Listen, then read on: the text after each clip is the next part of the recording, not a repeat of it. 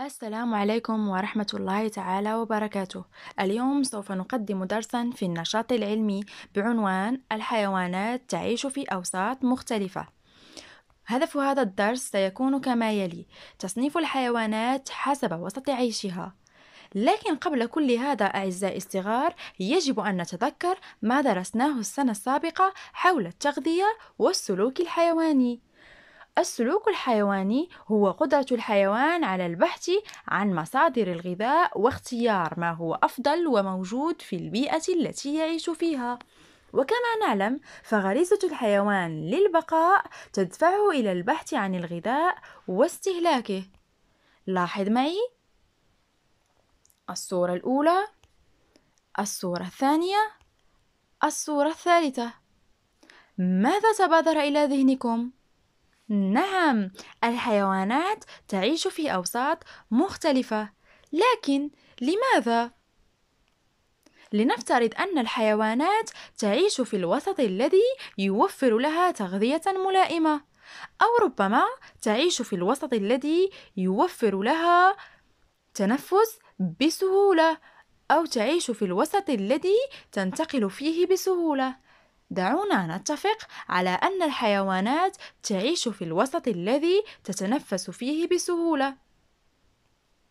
لنتحقق لدينا الأسماك كما نعلم فالأسماك تعيش تحت الماء يدخل الماء عبر فم السمكة فتستقبله الغلاصم هذه الغلاصم تأخذ الهواء وترسله إلى باقي الأعضاء داخل جسم السمكة. وهنا لدينا خروف. للخروف فتحة أنف حنجرة رئة يمنى ورئة يسرى. يدخل الهواء إما عبر فتحة الأنف أو الفم. عبر الحنجرة يصل هذا الهواء إلى الرئة اليمنى والرئة اليسرى. حسناً، املأ الفراغ بما يناسب، إما بري أو مائي.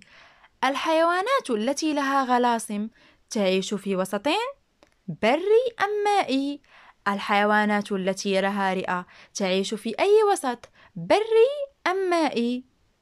فكر الحيوانات التي لها غلاصم تعيش في وسط مائي.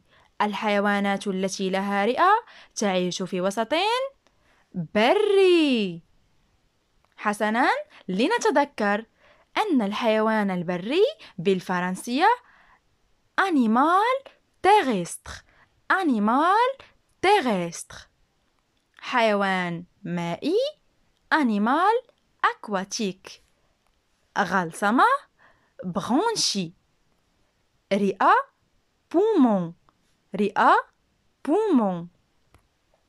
حسنا بهذا نستخلص أن الحيوانات تعيش في الوسط الذي تتوفر فيه حاجياتها وهكذا نميز بين الحيوانات البرية الحيوانات المائية والحيوانات البرمائية.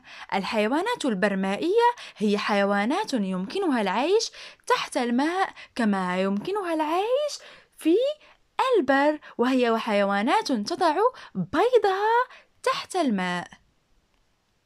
حسنا لنستثمر ما تعلمناه اليوم في هذا التمرين. صل بسهم كل حيوان بالوسط الذي يمكنه العيش فيه. حسنا. القط بالوسط البري. الضفدع بالوسط المائي. والوسط البري أيضا. أما السمك فبالوسط المائي. الحصان بالوسط البري. وبهذا يكون درسنا. قد انتهى. شكرا على انتباهكم.